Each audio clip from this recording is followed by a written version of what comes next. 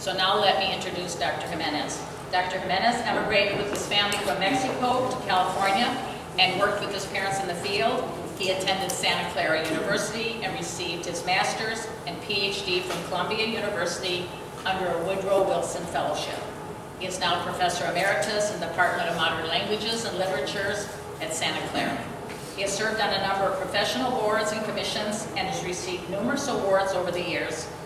And many of you know him through his four autobiographical books that have been included in the American Library Association's book list, 50 Best Young Adult Books of All Time. Some of you have read the book here. How many of you have read some of his books? Oh, wonderful. Okay, so I ask that you hold your uh, questions or any comments till after the lecture is over. Please join me in welcoming Dr. San Francisco Jimenez.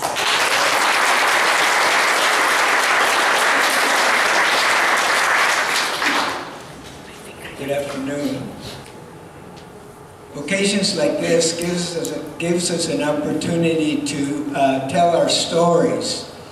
And uh, when we tell our stories, we make connections. Let me get, uh, for example, if I were to ask you, how many of you in this room were born in another country? Could you raise your hands? How about, uh, how many of your parents were born in another country? Grandparents? So just about all the hands go up. And now if I were to ask you, do you know why your parents or grandparents or great-grandparents came to this country? I suspect the answer would be the same. They came to this country looking for a better life, right?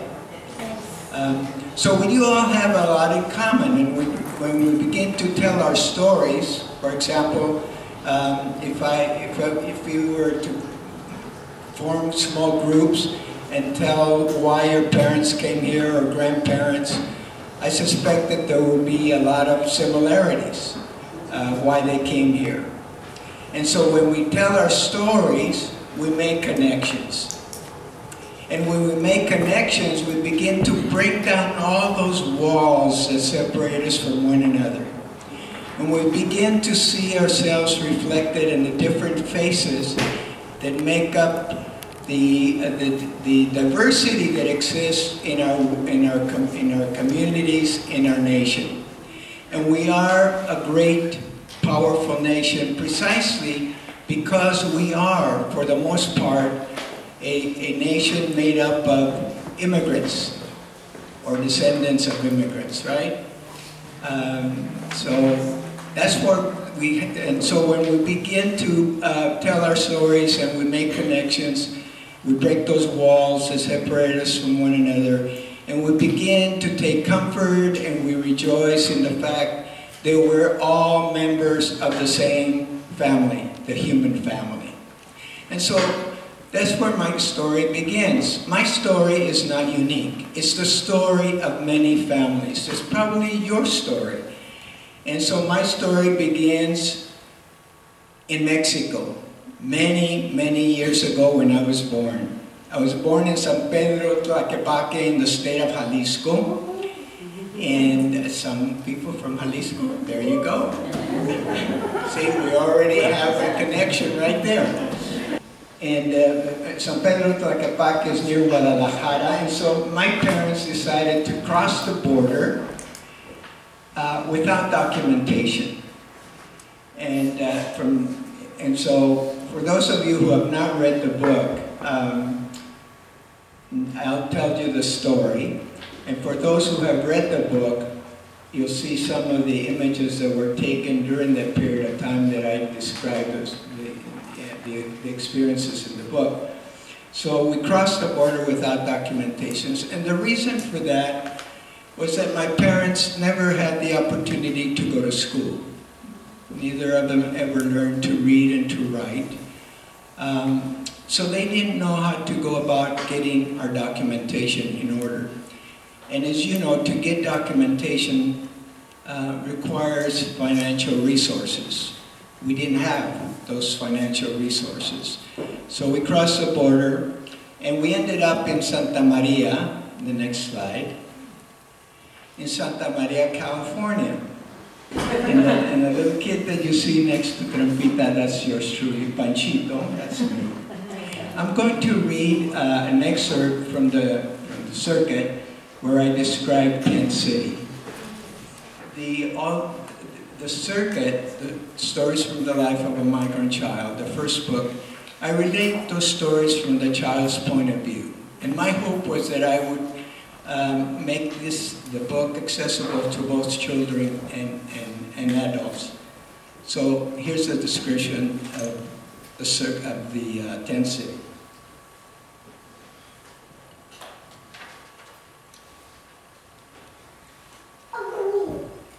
We called it Tent City.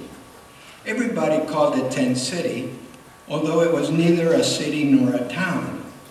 It was a farm worker labor camp owned by Sheehy Strawberry Farms. Tent City had no address. It was simply known as rural Santa Maria. It was on Main Street, about 10 miles east of the center of town, and a mile north of it was a city dump. Many of the residents in the camp were single men, most of whom, like us, had crossed the border illegally. There were a few single women and a few families, all Mexican. Mama asked Papa to seal the base of the tent by piling extra dirt, extra dirt about six inches high all around it so that animals, especially snakes, could not crawl underneath during the night. When Papa finished, Mama pleaded with him to build the floor. He agreed, and every evening after he came home from work, he sent Roberto and me to the city dump to look for discarded lumber to build a floor inside our tent. We went back several more times until we got enough lumber to complete the floor. We also picked up pieces of linoleum and laid them over the wood to cover the holes and slivers. The different shapes and colors made the floor look like a quilt. More uh, descriptions about this picture. The man that you see there with the hat on, uh, his, his name was Francisco. We called him Don Pancho. And, and you know from um, that in Spanish, the title uh, Don is given to people out of respect. As a matter of fact, uh, if you call someone uh, like uh, Don Miguel or Don, uh, Don Fernando or whatever your first name is, using the Don, uh, it's probably the highest compliment you can give a person, right? And some of you might see the, the, uh, the popular uh, television show, they call him Don Francisco, right? It's Don Francisco. Some of you might have read Don Quixote, right? Um, so we used to call him Don, Don, Don, Don Pancho, Don Francisco. And, and uh, Don Pancho is the one who gave us that parrot that I talk about in the circuit. Um, remember the parrot? Yeah, he said yes. Don Pancho, um, like my parents, uh, did not have the opportunity to go to school, so he never learned to read and to write. But like my parents, Don Pancho was very, very intelligent and very talented, and he knew, he knew a large number of folk tales and legends, like La Leyenda de la Llorona. And before I began writing the circuit and was doing research, I lamented the fact that I didn't have the opportunity to record all these wonderful ghost stories and legends that I heard from Don Pancho. Uh, because if I had been able to record them and then transcribe them, it would have been a bestseller. Um, Don Pancho also had a, a, a great sense of humor. And he said that the, that the parrot that he gave us was also uh, without documentation. he said that uh, before he crossed him, uh, before he crossed him, uh, uh, crossed the border, he said, I gave him tequila, gave him tequila to, to relax him so he wouldn't make any noise.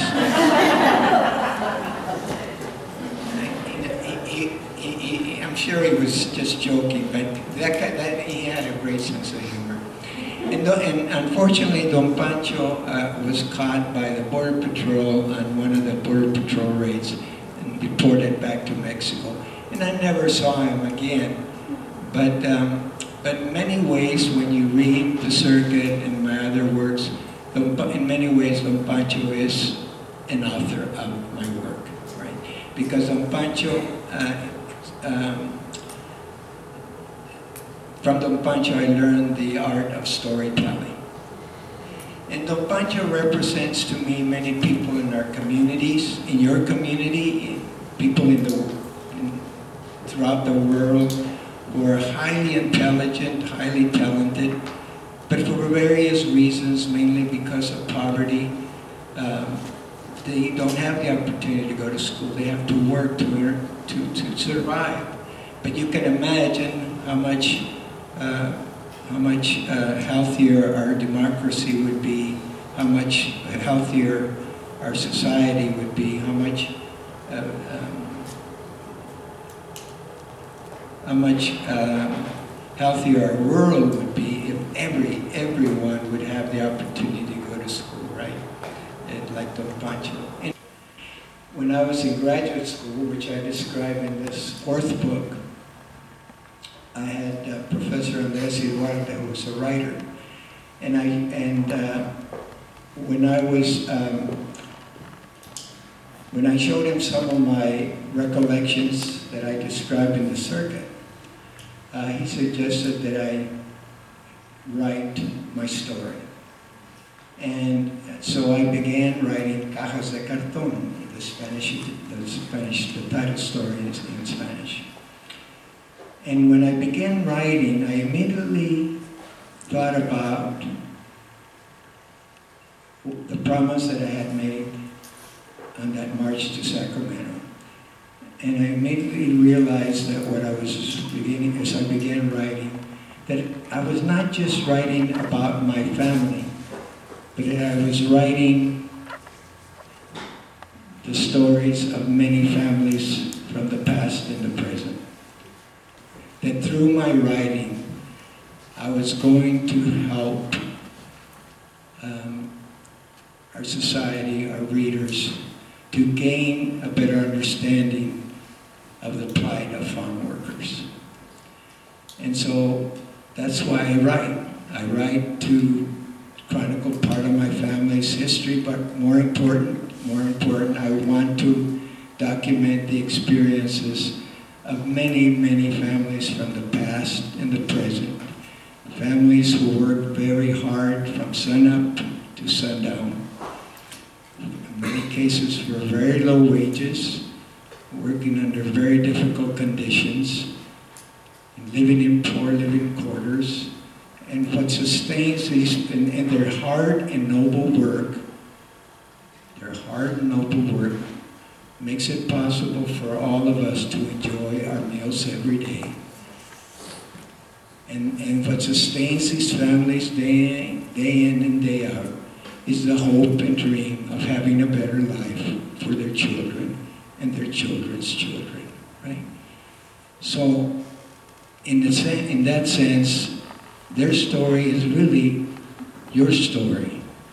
Because the, the story of the Mexican uh, farm workers is an important and integral part of the American story. It is part of American history. You see? And so that's why I write. And so I'll stop there and I'd be happy to answer any questions that you might have. Okay? Let me, uh, let me just say this one more thing. I, I would, uh, since I, I want to thank Ms. Cahill for doing this series, because as I started my talk, it's really important to share your stories. Because when we share our stories, we make connections. And let me, let me read something um, that, to encourage you to tell your own stories. Um, there's a, famous uh, writer, Madeleine L'Engle, uh, who, who says the following. If you don't, if you don't recount your family's history, it will be lost. Remember this. If you don't recount your family history, it will be lost. Honor your own stories and tell them too. The tales may not seem very important, but they are what binds families and makes each of us who we are. So I would encourage you to, if you haven't already done so, to begin documenting your own family's history, your own family stories, and then pass them on to your children and your grandchildren, because that's who, what makes us who we are, right? And it grounds children, your children and grandchildren, uh, and, and gives them a sense of where they are, who they are, and where they come from. It's so important uh, to do that. Okay. And with all the technology that we have now, you can record them, videotape them. Uh, it's, it's so, um, I would encourage you to do that. Okay. When the book came out, I, um, I was invited to Hancock Community College to give a talk, and Mr. Milo was there. Uh, and um, who was, uh, uh, Mr. Penny was there, my high school counselor, uh, and a few other teachers that I had in high school. And, and, and I took the opportunity to thank them for what they did for me. And, and, and it was a very emotional, uh, so it was a love fest. And, uh, he, they, and his wife was there, and uh, it was very, very, very nice. Yeah, so it gave me a chance before I began riding the circuit, there's, I talk about Mr. Lema, uh, who during his lunch hour would help me with my English. I went to the, to the Visalia looking to see if I could contact him. Never, never was able to contact him. To thank him also, I wanted to, to meet him and say, you know, what you did for me. Um, he probably never realized how much he touched me. You know, I wanted to be a teacher because of him. I had no idea what it meant, but, but because he cared about me and he, and he valued my Mexican culture and he, you know, and he probably, and my wife, when she read this, when she heard this story, she says, I wonder what Mr. Lema would have said. You know, I spent all this time trying to help him, and then I, he left, and what, what good did, it, did I do? Mm-hmm. Little didn't know that he touched, he, he, changed my life. You know, that because of him, I wanted to be a teacher. Yeah. And that's why I tell teachers that it's, it's a wonderful profession, that you touch so many lives, even though children will never tell you, and you don't realize it, but you are making a huge difference in children's lives. I mean, it's, it's just a wonderful profession. I, I have the greatest respect for teachers and admiration and gratitude. They're, they're just, for me, teachers are really the guardians of our society. Really are, really are. And, and it's unfortunate that our society does not um, give them the respect and, and in many ways that they deserve. Financial as well.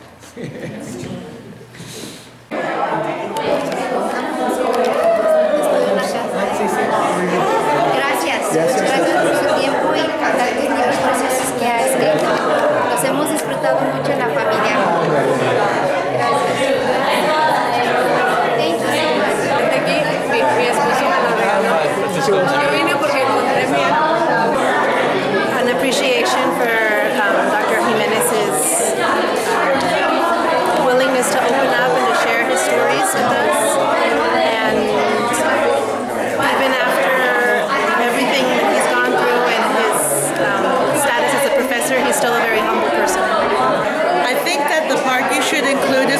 Talking about his family. The part where his mother could only afford to give them candy was very moving and resonates with me. His story is my story.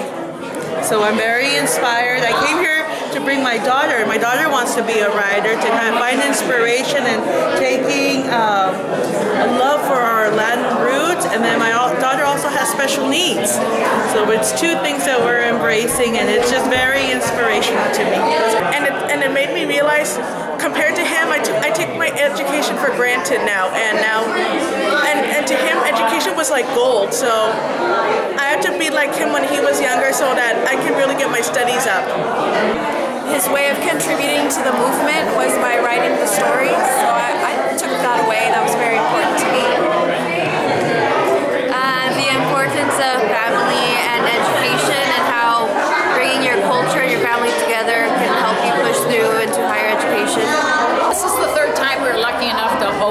Dr. Jimenez. He was gracious enough to speak to us for three times. And I've heard his talk now three times. And although it's the same linear, linear history, I pick up something new every time. It's either an emotion he shares about growing up with his family, historical fact, or I love the way he can resonate with the children. I know a lot of the sixth graders are reading his book, but he seems to have such a connection with the children. And they seem to, you get to that age, I don't know if they're listening to their parents, and some of their parents who have similar stories, but they're listening to him, and I think that makes such a difference, especially in this climate we're in right now. The part where he talks about where it's not just his story, but multiple families. Uh, the part where he talked about going to college and how he got the money and how how money isn't like an obstacle to achieving things. Uh, how you should uh, always go to college if you can afford it. providing for your family How things can relate to other families. I should like add more to what he was talking about. Like, more appreciation for teachers, like giving them more like more money for the work they do, and also more bonuses because like they're they're expected to put their life on the line when their students are in danger. Well, I appreciated Francisco's comments about teachers because I can attest to that. My mother was a school teacher, and you you do uh, realize the effect, or, or sometimes don't, the effect that that a teacher has on a child's life. So I appreciated those comments today. a la marcha de cuando él participó con César Chávez lo que simbolizó para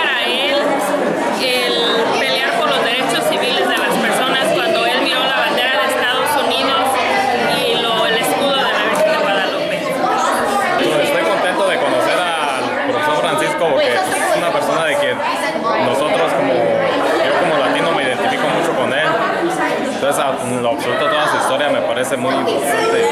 The fundamental message, what he had to say is that education is the key. It opens up opportunities, it opens up personal choices, and it's something that cannot be taken away from you.